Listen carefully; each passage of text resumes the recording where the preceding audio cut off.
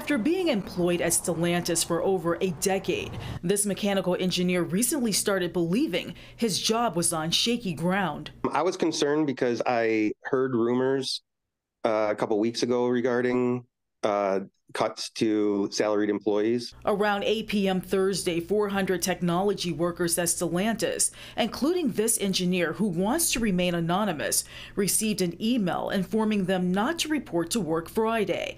Instead, they would be on a mandatory remote workday and they were required to attend an operational meeting at a designated time.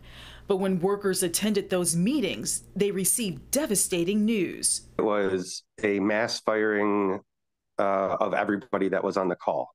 The news felt like a punch in the gut. Of course it was. Yes, absolutely. Fox 2 requested an on camera interview with Stellantis, but instead we were provided a statement which reads in part while we understand this is difficult news, these actions will better align resources while preserving the critical skills needed to protect our competitive advantage as we remain laser focused on implementing our EV product offensive and our Dare Forward 2030 strategic plan. But this worker and others Fox 2 spoke to believe something else is the cause. There's a ton of jobs or positions that they began to outsource to different companies, such as um, India, Mexico, Brazil. So they, they continue to push uh, low cost countries are more more efficient for the company and more profitable. As hundreds of employees are let go from Stellantis, many are wondering what impact this will have on the auto industry.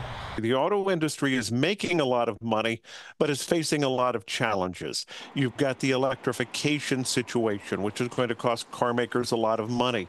You've got the new UAW contract that's also costing car makers a lot of money. So it's not only Stellantis, everybody is looking at the bottom line. In fact, WWJ automotive reporter Jeff Gilbert says other car makers have already made cuts recently. We've seen it at Ford and General Motors also. Uh, Uh, but today it's happening at Stellantis. Gilbert makes it clear the actions by Stellantis are not reflective of the economy. There is no talk about a downturn in the economy.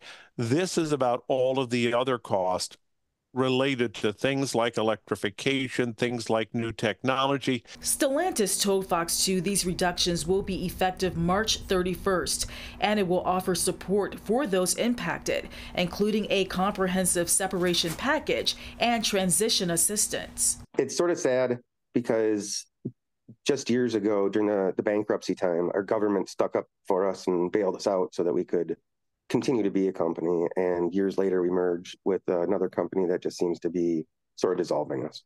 In Oak Park, Ingrid Kelley, Fox 2 News.